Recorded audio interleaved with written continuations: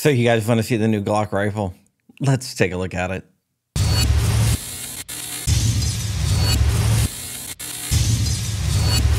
What's up, Wolverines? We're going to be talking about a Glock rifle today. But before we get into that, inflation is so high right now.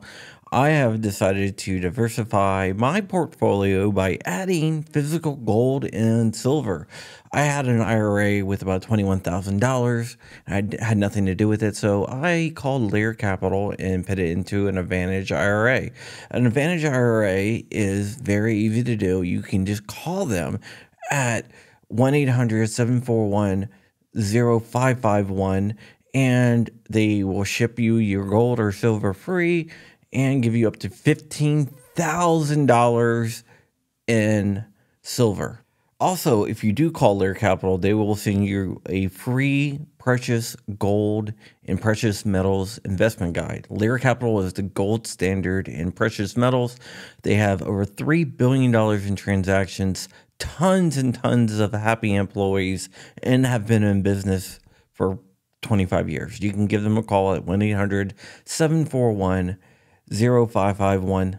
Once again, that's 1 800 741 0551. They are a conservative American based company that believes in the Second Amendment and they invest in us, so invest in them.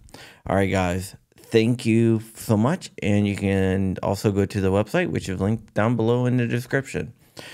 Okay, now let's go ahead and talk about the Glock rifle.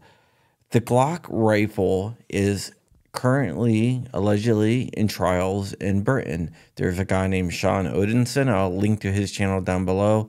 He is a British military guy and he released the first ever pictures of a Glock rifle. And let's go ahead and talk about what is going on with it. The British are going through several trials to replace their current battle rifle with a new rifle. KA is in the trials, and so is Glock.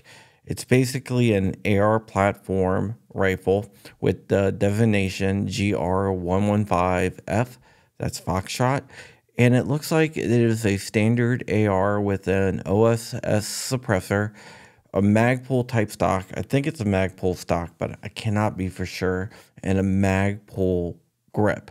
It looks like a standard AR.